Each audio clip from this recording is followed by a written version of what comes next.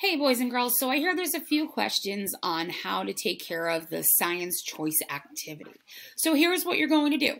When you go into your Google Classroom, like right now, I'm in 6B Math and Science, you're going to go to the Classwork tab and click on that. It opens up your things for today. Scroll down to the science choice links.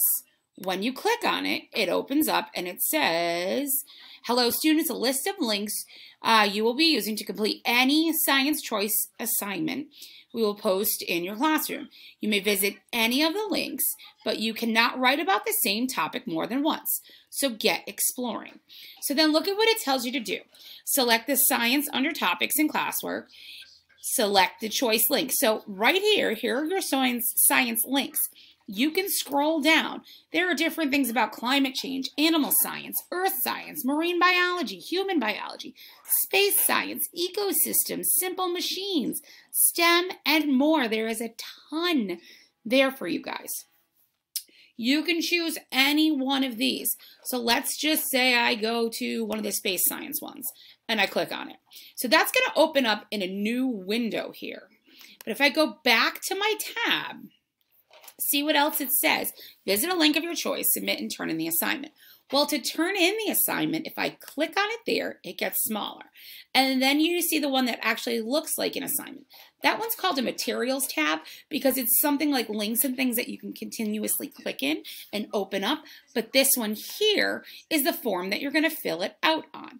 So what you do is you click on the form and it's going to open it up for you. And this is where you fill in your answers based on what you did. So now like when it says copy and paste the website you were using for today's choice, I'm going to go back here. I'm going to put my cursor in there and I'm going to click and highlight it. And you can command C for copy. You can right click and get the copy button. As long as you copy it, then you click back into here and paste your answer. So why did you choose to uh, explore this website? This is for you. Tell us why. What are two facts you learned? What's an opinion you formed about this? Would you recommend this to a friend? Why or why not? And why is this topic important uh, to science?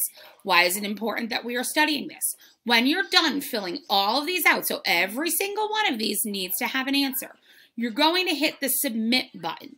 Once it's submitted, you go back into classwork and you're going to hit the turn in button. Now, because mine is the teacher view, um, I don't have a turn in button, but you should have a turn in one right there.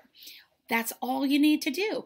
And especially, wait a minute, I forgot to say one important thing. When you're on the science site, hello, of course you need to explore and read and find out about something. Like this one here about planets has so many cool things for you guys to check out and learn about.